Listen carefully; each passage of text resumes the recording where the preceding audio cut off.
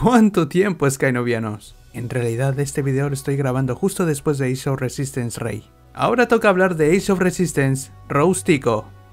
En esta historia se nos explica el triste pasado de las hermanas Tico, que ya se explicó en The Last Jedi y en la novela Cobalt Squadron. Solo que en este cómic se pudo ver representado la explotación de la Primera Orden a Haze Menor para conseguir todo el mineral llamado Ore, además de ver un poco de la infancia de Rose y Paige con sus padres.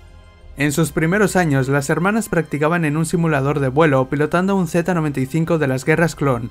A Paige se le daba muy bien el pilotaje y la puntería, pero a Rose se le daba mejor conocer la nave en sí que pilotarla. Otra cosa que les gustaba era ver holodramas con sus padres. Años más tarde llegó la orden para explotar el planeta. Rose y Paige lograron sabotear los planes del enemigo, pero solo duró unos pocos días. Los padres entendieron que necesitaban enviar a sus hijas fuera del planeta para que encontraran a la resistencia y salvar su hogar. Fueron aceptadas por Holdo y el almirante Akbar. Pelearon junto a los héroes como Poe Dameron, pero llegaron demasiado tarde a su planeta. Paige y Rose, dolidas por la pérdida de su familia, intentan salir sin permiso para darle un golpe al mayor objetivo que se encuentren de la Primera Orden, pero Leia se interpone en su camino para hablar con ellas. Después de perder a Alderaan, sabe perfectamente cómo se sienten. Sin embargo, les propone ser una molestia constante a la Orden, en lugar de solo hacer un poco de daño. Con ello, Rose y Paige deciden comenzar cuanto antes y salvar otros planetas que estén en peligro como el suyo. Toda la historia parece estar narrada desde el punto de vista de Rose, pero al final se sabe que es Paige la que está constantemente impresionada por su hermana pequeña y que está segura de que será una heroína de la resistencia.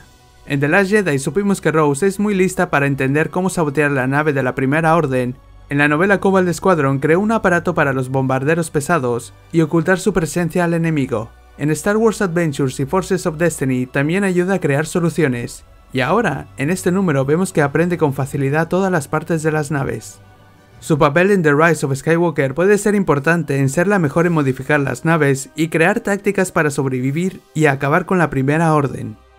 ¿Y tú qué piensas de este número? Déjame saber tu opinión en los comentarios, dale like, suscríbete si eres nuevo, sígueme en Instagram, Twitter y Facebook, visita mi página web para ver noticias de Star Wars y consideren apoyarme en Patreon para hacer videos de Star Wars todos los días. Yo soy Skynobi y nos vemos en el próximo video.